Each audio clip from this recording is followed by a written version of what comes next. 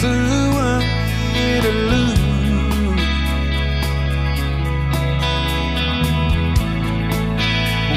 Tak seindah dulu.